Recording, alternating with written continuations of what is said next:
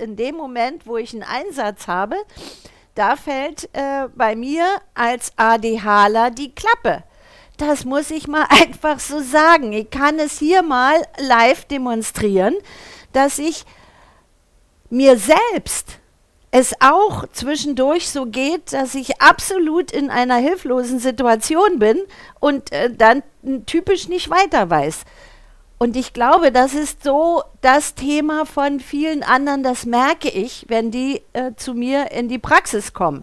Die, genau mit solcher Fragestellung. Die Kinder stehen da und äh, stehen vor dem Lehrer, wissen nicht, was sie sagen sollen, kriegen einen Haufen mieser Zensuren oder sogar die Eltern stehen in ihrer Arbeit vor einem Chef, der da äh, von ihnen was fordert und äh, irgendwie ist dann plötzlich das Gehirn leer. Und so geht es, äh, wie Sie vorhin gesehen haben, sogar mir. Wenn ich einen Anfang machen soll, ist das Gehirn leer. Das ist eine typische Reaktion von denen, die sogenannte ADHler sind. Das ist aber eine Geschichte, die durchaus veränderbar ist. Und mir geht es darum, deutlich zu machen, wie man das verändern kann. Ich habe in der, meiner Praxis jetzt viele Wege gefunden und über Jahre ausprobiert, auch an mir selber ausprobiert, aber vor allen Dingen mit meinen Patienten gemeinsam ausprobiert, was man dort alles machen kann. Äh, wir haben äh, ich habe mich auf der Website vorgestellt, da gab es viele äh, Kommentare dazu und ich habe bemerkt, dass die Kommentare auch deshalb äh, so fragend waren, weil die, die dort waren, natürlich von mir überhaupt nichts wussten.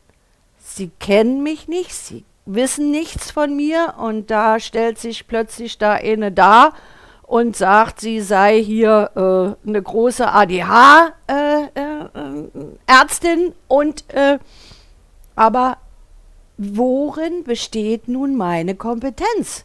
Meine Kompetenz besteht, kennen natürlich meine Patienten. Die wissen das. Über die ganzen 30 Jahre, wie ich arbeite, wissen sie, dass ich mich einsetze und zwar komplex einsetze. Dass sie nicht einfach nur kommen und äh, ähm, dann einen Haufen Ratschläge von mir kriegen, sondern dass wir gemeinsam einen Weg uns erarbeiten, wie sie aus den Problemen, die sie meistens haben, und das ist meistens eben ein tiefes Problem der Hilflosigkeit, mit ihren Kindern, aber auch die Kinder mit ihrer Umwelt, dass sie mit diesen Dingen dort rauskommen. Und da geht es natürlich darum, dass wir uns einsetzen. Und sie wissen, dass ich mich einsetze mit allem, wenn es um äh, Arbeit mit den äh, Auseinandersetzungen auch mit den Lehrern geht. Ich bin in der Schule und ich weiß, wie es den Familien in den Schulen geht. Ich kenne auch die Probleme der Lehrer, weil die Lehrer, wenn man genau hinguckt, sind tatsächlich auch genauso hilflos wie die Eltern. Es ist auch keine leichte Geschichte, so jeden Tag vor den Schülern zu stehen und einen Unterricht machen zu müssen, der nicht immer auch die Lehrer glücklich macht. Aber das ist halt so. Es ist eine Sache, mit der wir uns hier in der Umwelt jetzt so, wie sie ist, auseinandersetzen müssen. Es ist auch wichtig, in erster Linie nicht diese Umwelt zuerst zu ändern, sondern das Wichtige ist, mein Gefühl dazu zu verändern. Es ist ja so verrückt. Es gibt Menschen, die leben unter den miesesten Bedingungen und sind glücklich. Und dann gibt es Menschen, die leben unter den bestmöglichen Bedingungen und die sind zutiefst unglücklich. Also kann es nicht an den Bedingungen liegen, sondern an uns, wie wir uns mit diesen Bedingungen fühlen.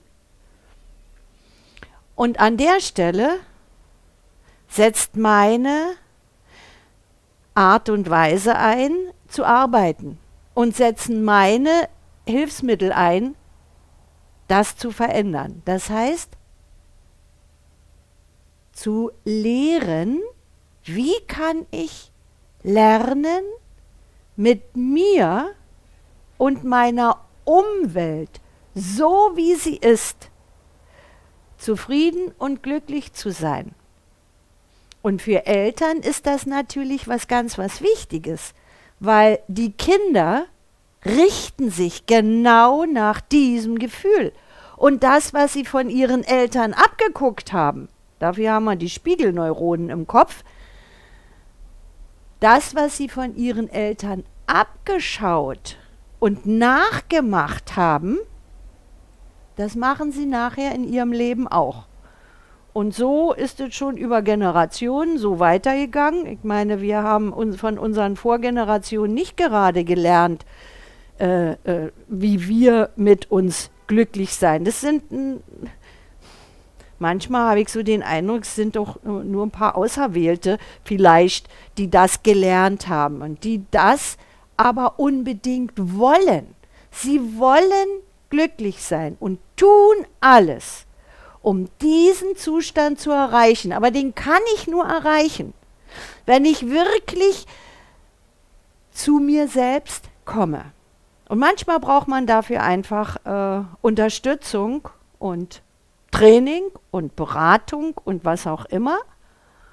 Und äh, ein Teil dieser Unterstützung gebe ich zum Beispiel was den Live-Kurs betrifft. Das sind diese drei Tage Live-Coaching, was wir machen in einer kleinen Gruppe, wo das Verrückte ist, dass äh, die immer so traurig und ein bisschen verkniffen am ersten Tag äh, in diesen Kurs hineingehen und wenn sie dann am dritten Tag abends fertig sind, strahlende Gesichter haben und ein strahlendes inneres Gefühl haben.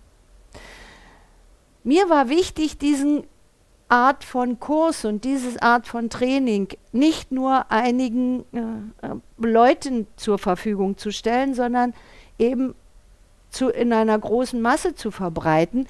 Und deshalb habe ich einen Online-Kurs entwickelt, der in ähnlicher Art und Weise dazu führt, dass ich zu mir komme, das heißt diejenige Person, die diesen Kurs macht, zu sich kommt, sich selbst kennenlernt und sich selbst lieben lernt und sich damit verändern lernt. Der Effekt davon ist, wenn ich mich selbst mag, mag mich komischerweise auch meine Umwelt und mögen vor allen Dingen die Kinder uns. Und die Eltern, die dieses, diese Weisheit und diesen Trick gelernt haben, haben veränderte Kinder, haben glückliche Kinder, die natürlich in der Schule klar immer noch Probleme haben, aber mit diesen Problemen anders umgehen können die nicht mehr in solche Löcher hineinfallen, dass ihnen so schlecht damit geht und dass sie eigentlich manchmal bis dahin wollen, dass sie nicht mehr in die Schule wollen und sagen, nee, ich bringe mich um lieber und anstatt dass ich in die Schule gehe. Das ist das, was ich mit meinem Kurs erreichen möchte, dass sich das verändert und die Kinder, und da habe ich Beispiele, äh, kann ich vielleicht gleich eins erzählen, da kam äh, vor, ja, das ist jetzt in der Zwischenzeit ein halbes Jahr, eine Großmutter mit einem äh, äh, Enkel, den ich von ganz früher schon mal kannte, aber der jetzt so am Ende war, dass er äh, in die Drogenszene abgerutscht war, die von der Schule äh, fliegen sollte und dass er wirklich tatsächlich die ganze Familie am Ende war und ihn keiner mehr haben wollte. Übrigens ein fantastischer Junge. Zwar 15, zwar eine Granate, aber mit einem so, ich würde sagen, goldenen Herzen, das allerdings äh, sowas von verschüttet war und sowas von zu war, dass der natürlich nur äh, Theater gemacht hat und auch in der Schule aggressiv war und den damit keiner leiden konnte.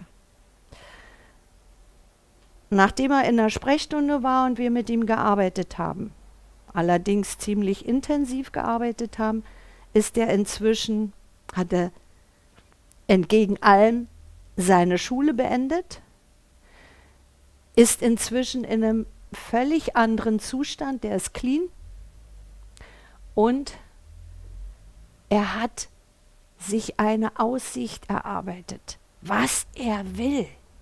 Das hatte er vorher überhaupt nicht. Der wollte vorher außer sich umbringen eigentlich ja nichts. Und jetzt ist es ein strahlender, mh, hm, charmanter junger Mann geworden. Und ich muss sagen, ich bin immer wieder erstaunt, mit wie viel Herzlichkeit und Wärme er jetzt in der Umwelt ist. Nicht, dass er überall äh, glatt durchkommt, aber er hat eine andere Einstellung bekommen. Und seine Großeltern können jetzt mit ihm umgehen und er wird nicht überall mehr rausgeworfen. Das ist mein Ziel, was ich Ihnen anbiete. Mit meinem Webinar und mit meinem Kurs, mit meinem Online-Kurs der inneren Garten und auch mit dem Live-Training äh, kann ich das sozusagen anbieten als Möglichkeit für jeden, der so gerne sich verändern möchte und das nutzen möchte.